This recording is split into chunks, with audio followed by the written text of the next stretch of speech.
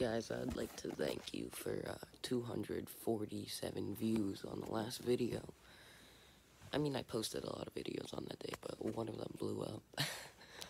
I honestly never expected to get even one view, let alone 305 subscribers, which means I can officially search up my channel's analytics on, on YouTube, on like, you know, the analytics app where you can like check YouTubers' analytics, see if they're declining or going up, and I can officially check it now because you need five subscribers, and I just got five. So, thank you.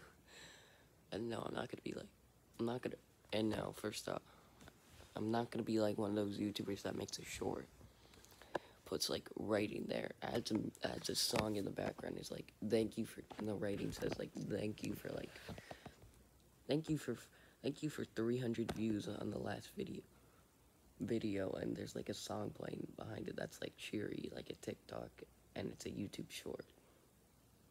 Like, no, I'm not gonna do that. I'm gonna actually say thank you. I mean,